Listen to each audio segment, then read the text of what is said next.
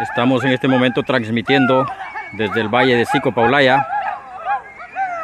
Así de esa manera cruza el ganado las aguas del río Sico Tinto Negro. Este es un reportaje que realizamos a través de las cámaras de Radio Sico Paulaya. Vea usted de qué manera el ganado pues ingresa a las aguas junto con los arrieros que tienen una experiencia muy importante en relación a cómo transportar el ganado. Este ganado nada en las aguas del río Sico.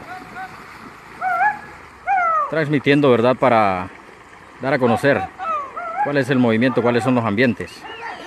Acá, en estos bonitos pueblos, donde se produce la leche, se produce la carne, se produce la diferente variedad de razas de ganado y así de esa manera pues son algunos de los costos por los que tiene que pasar este tipo de rubro acá en el valle de Sico y Paulaya. Muy buenos días.